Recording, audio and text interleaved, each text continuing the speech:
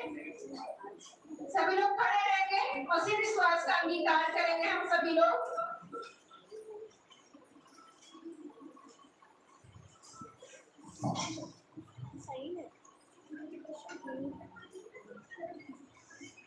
आइए हम सब अपने विश्वास को अंगीकार करेंगे। अंगीकार एक बपतिस्मा है जो हम परमेश्वर के सामने लेते हैं।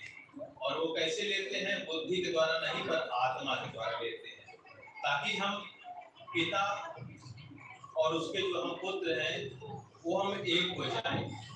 ताकि हमको पिता अपने पवित्र स्थान में रहने और उस वचन को, जो उसने अब्राहम के साथ वाचा की थी, उस वचन को परमेश्वर पूरा करे। हमारे हमारे साथ, क्योंकि मनुष्य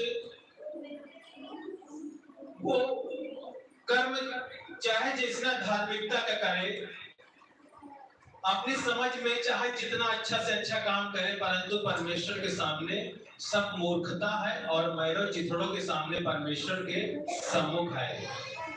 मगर हम प्रभु यीशु जब अपना उद्धारदाता, मुक्तिदाता जानकर ग्रहण करते हैं तो हमें प्रभु यीशु मसीह के द्वारा, मसीह में की गई मेहनत परमेश्वर के आगे कभी व्यर्थ नहीं जाती है। तो उस परिश्रम को हम जो करते हैं, वो हमारा अंगीकार ही है।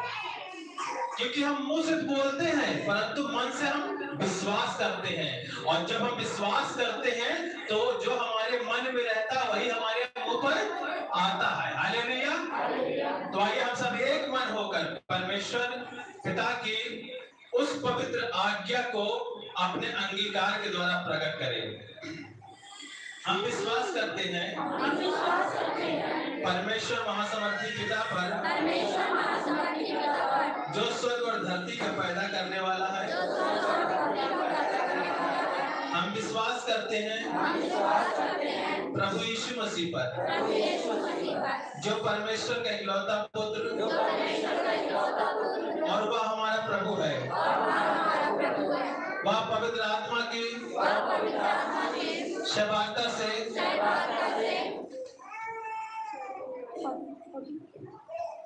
वह पवित्र आत्मा की शक्ति से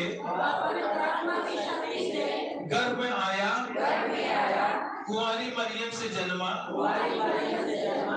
पेंतुस पिलातुस के अधिकार में। पेंतुस पिलातुस के अधिकार में। दुख भोगा। दुख होगा क्रूस पर चढ़ाया गया। क्रूस पर चढ़ाया गया। मर गया। मर गया। और गाड़ा गया। और गाड़ा गया। आत्माओं के लोक उतर गया। आत्माओं के लोक उतर गया। तीसरे दिन मुर्दों में से जी उठा। तीसरे दिन मुर्दों में से जी उठा। स्वर्ग पर चढ़ गया। स्वर्ग पर चढ़ गया।